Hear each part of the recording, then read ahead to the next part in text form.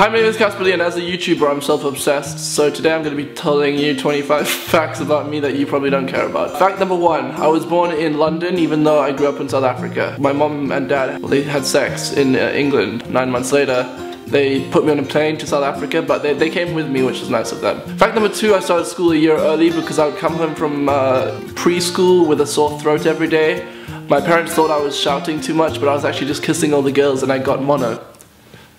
Uh, fact number three, in my last year of school, when we were doing exams, I came up with this idea that I wasn't fast enough at handwriting things, so I got the school to give me a test to prove that I couldn't write exams fast enough with hands. So then they gave me a test, and I, I did the test, and I failed on purpose, and then I was allowed to write the test with a computer. Very good fact?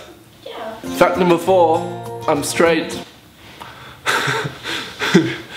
Fact number five. My favorite dessert is tiramisu, and yes, I pronounce it like that, even though most people pronounce it tiramisu or tiram tiramisu. I'm not sure. Fact number six. They say your penis is as long as your forearm, but that's not true in my case. Fact number seven. My favorite drink is gin and tonic. Um, two shots gin, one shot tonic. Fact number nine. I'm really bad at counting. Fact number 10, I lost my kissing virginity when I was 12. Actually 11. Okay, it was 10. Fact number 11, my favorite woman of all time is Gigi Hadid. Um, I don't know if I pronounced her surname correctly, but that doesn't matter because she's beautiful. Fact number 12, I left South Africa when I was 18 years old to do YouTube full time in London. Fact number 13, my parents are divorced, but they're both happily remarried and it didn't really affect me much. Fact number 14, my feet are size 12 UK, but it doesn't correlate with my penis. Does that make sense? Fact number 15, I've never broken a bone because I'm too much of a pussy to do anything scary or dangerous. Fact number 16, I don't really drink any fizzy drinks because I try and um, save myself a pizza. Fact number 16, I'm 6 foot 2 without shoes on and then 6 foot 3 with shoes on.